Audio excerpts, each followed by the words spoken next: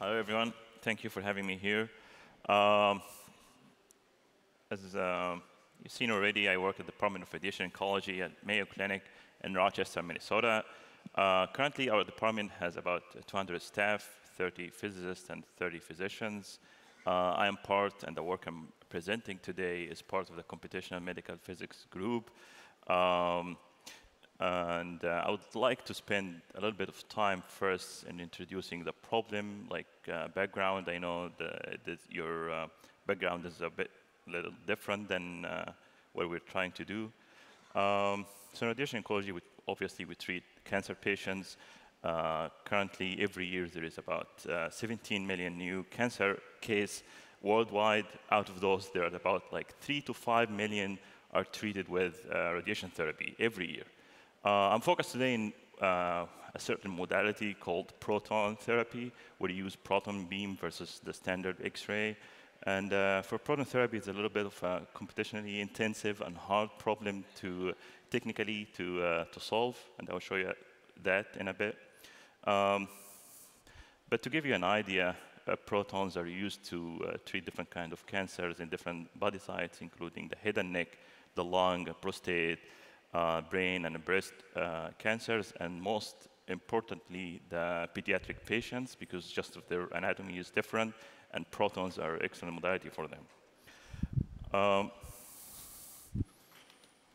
to give you a bit of uh, information how radiation works, how radiation therapy works, what we do is we target the DNA structure of the cancer cells with a very high uh, energetic beam uh, this destructs the DNA uh, by some mechanisms, and that leads to the cell kill of the cancer cells. Um, unfortunately, that works for, for both uh, the cancer cells and for the healthy tissue around it. And usually people get cancer in deep-seated, like inside your body, and there is always a residual dose that goes through the healthy tissue. The whole problem we're facing is to introduce this radiation to the cancer cells, the tumors, without harming the other healthy tissue surrounding it. Uh, so protons are usually produced with high energy uh, particle accelerators like synchrotrons like this, where uh, uh, uh they are being accelerated to high energy and transported through a gantry uh, into the table where the patient will lay down uh, like this, and then this gantry has a robotic motion which goes around in almost 360 degrees to target the tumor from different angle. Um, so I borrowed this figure. I found it very nice and weird have uh, wired. I mean, I have a very nice uh, diagram for showing this. So this uh, gives you a detail, sorry, gives you a detail of how the radiation therapy works. You have the particles being generated and accelerated here, delivered through uh, what we call a gantry uh, that moves around the patient in uh, 360 degrees. Um, what we care about here, why we have the, I have the slide up here, is to tell you like in this kind of settings, we as uh, in, uh, in radiation therapy, we treat uh, every patient with uh, their own plan. We have different anatomy, different tumor sizes and volumes and in different places. So every patient comes in being imaged and a treatment plan generic to this patient, I'm sorry, uh, very specific to this patient uh, being uh, generated um, uh, in a daily basis. Um, so there are control variables for those treatment plans. They include beam energies and beam directions. So in this case, for example, uh, we can have up to different 100 possibilities and uh, 360 different angles to choose from. Uh, once you get closer to the, to the tumor, then you have more choices. We can uh, uh, direct this proton beam to different spots on the tumor volume until we cover the whole volume with the, with irradiation to kill the cancer cells inside here. Uh, so this adds a lot of more uh, possibilities and adds to the problem that we're trying to solve. So now we have 10 to the fifth different variables in addition to the ones that I mentioned, and you can do all the combination and the math to figure out how many possibilities are there. Uh, and for a given patient, uh, for example, here there is a, this is a, a, out of a CT image of uh, a patient with a brain tumor. Uh, you can see the brain tumor is uh, a little bit deep inside and uh, surrounded by healthy tissue. So you have the optic nerve, the optic chiasm, different parts of the brain that's surrounding this tumor, and there is no way to deliver radiation without going through those or without putting some dose. And the whole idea is trying to figure out what are the trade-offs that we can achieve uh, uh, using machine learning in order to find the best way to deliver this radiation without harming the patient. So if you add those two sets of variables, we have a bigger problem now to solve. So you have your control variables, uh, the 10 to the 2 different uh, beam, beam, energies, the beam directions, and the positions where you're going to put those uh, spots. In addition to that, once we try to figure those out, there are not only one objective, there are a set of objectives. If each objective uh, we need to meet uh, has to have a kind of a range of values that uh, means a lot different uh, aspects of the patient health after the treatment. Um, so for the, for the tumor, obviously, you would like to deliver as much radiation as possible to kill the, the, the cancer cells. But for the healthy organs around it, different organs have different tolerances, and the way we, uh, we, we, can, uh, as human beings, we can tolerate uh, radiation is also a little bit different based on the history of the patient. Uh, so our job is to achieve those objectives, to maximize the tumor radiation to the tumor, minimize radiation to different organs that, that's around it, and understand the trade-offs between those two for every single patient. Uh, so what happens in, in, the clinic once the patient gets in, there's a team of the uh, physician, the physicist, and the dosimetrist.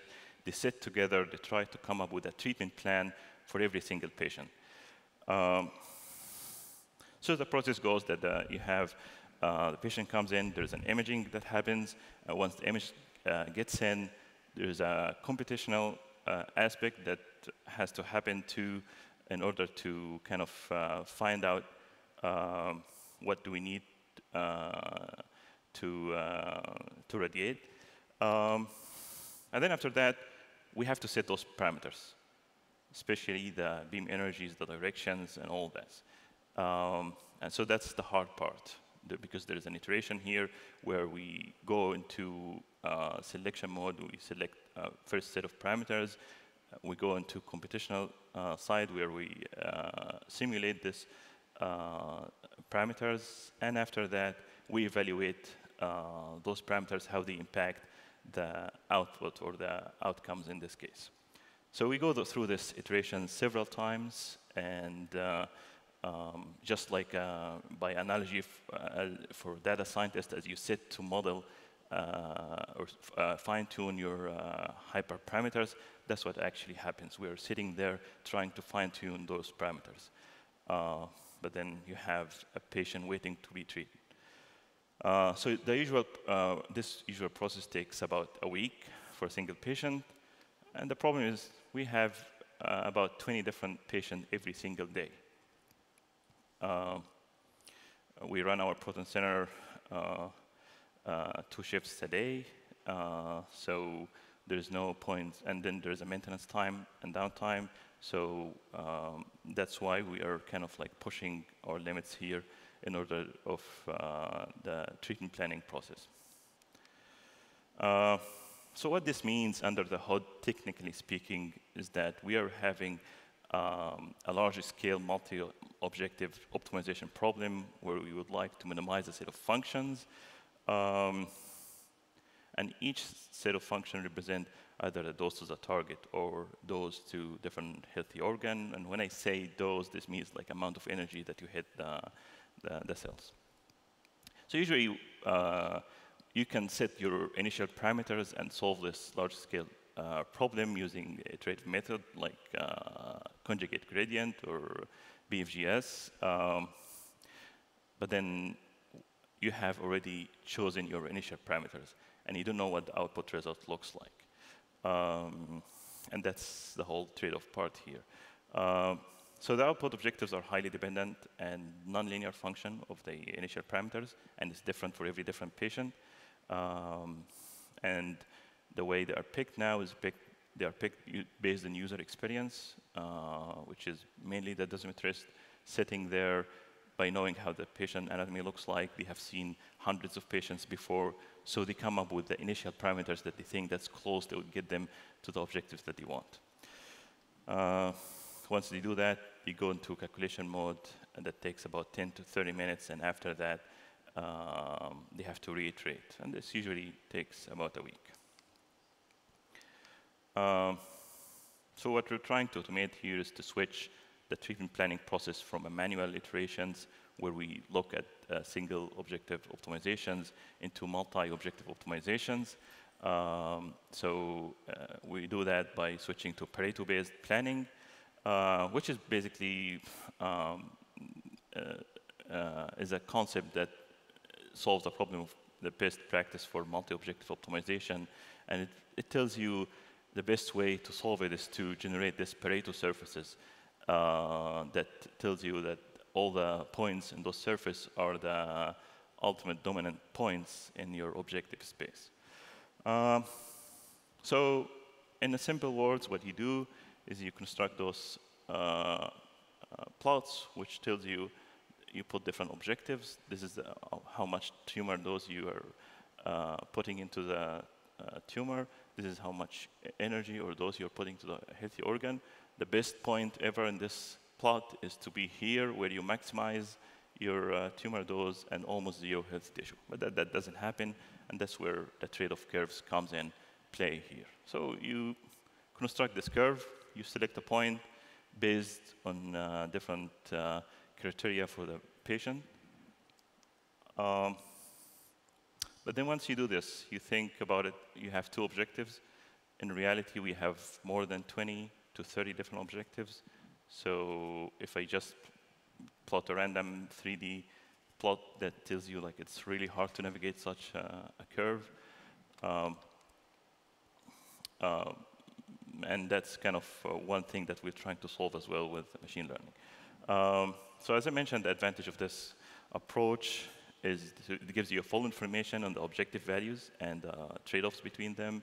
It shows you how improving one objective is related to deteriorating the other objectives.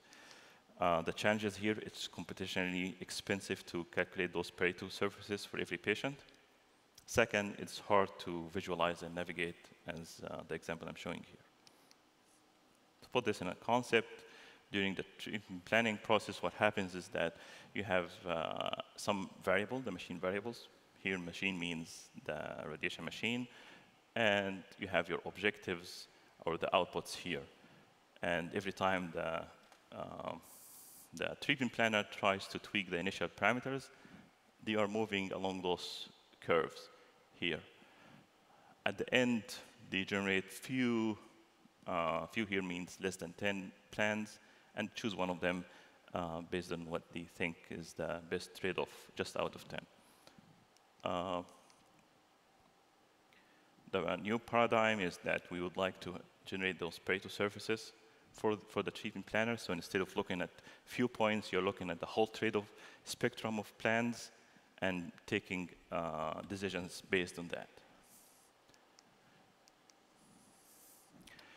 Um, so the goal of this project is to have, uh, uh, at the end, high-quality treatment plans in a very short uh, planning time.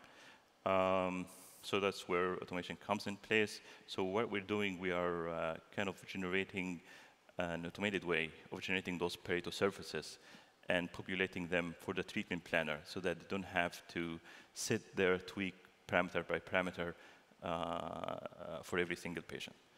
Um, and how we do that, we kind of uh, build the models to predict the correlation between those objectives and also between the objectives and the initial parameters that are put in into this optimization process. Once we build these models, um, after that, the treatment planner will come. Uh, it's a kind of a, a computation run that will be sent overnight, and then they come in the morning.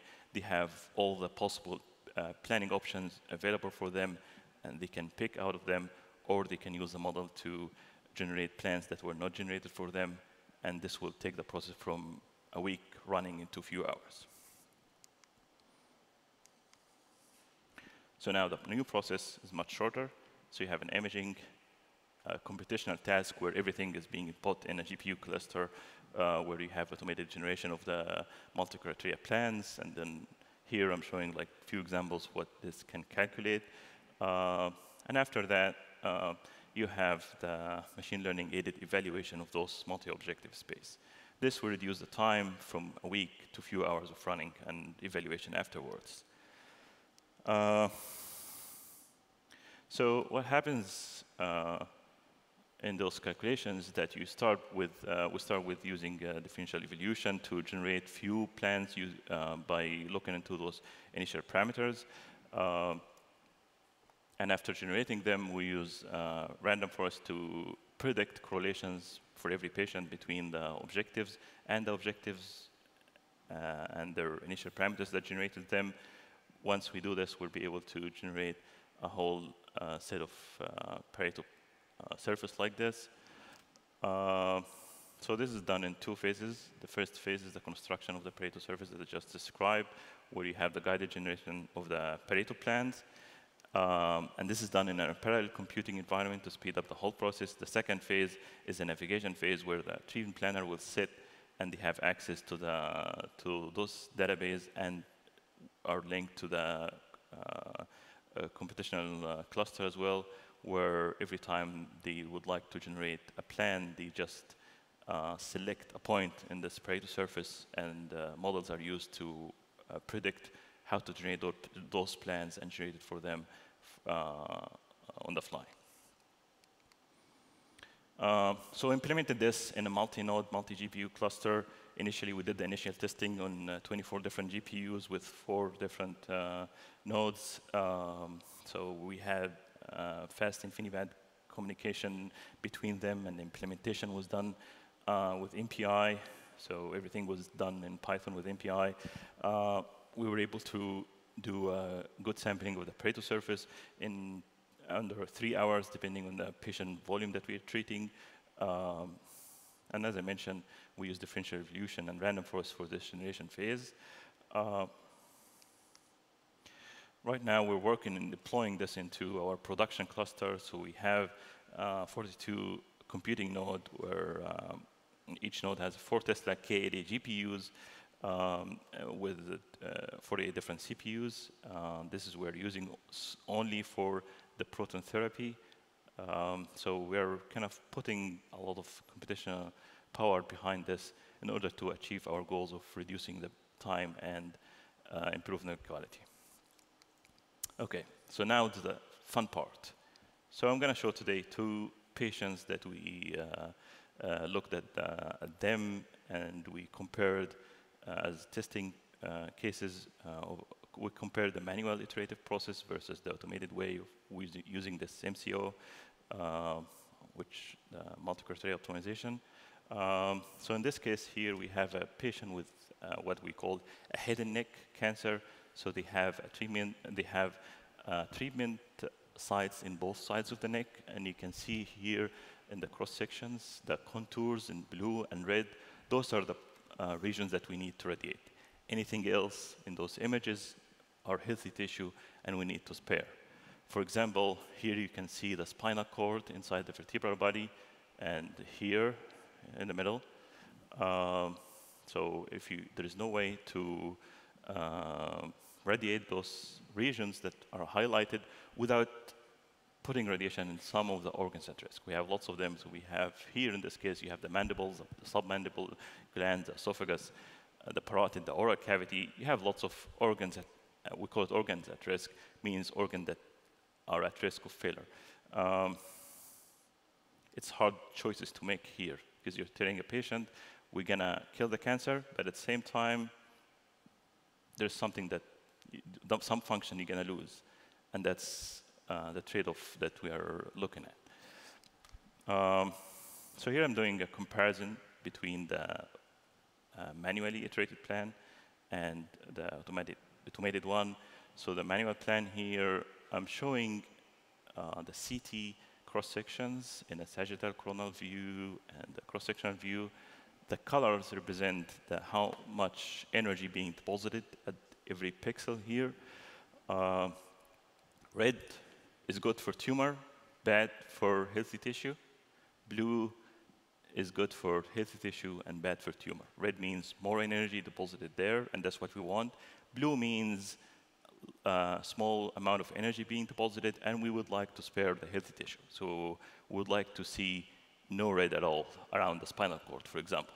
Because you radiate the spinal cord, the patient loses feelings, loses the whole uh, control for their uh, rest of the body.